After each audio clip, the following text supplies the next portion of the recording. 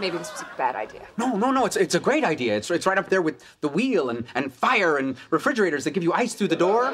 Sorry, I don't want to do this anymore. What? Why? Why?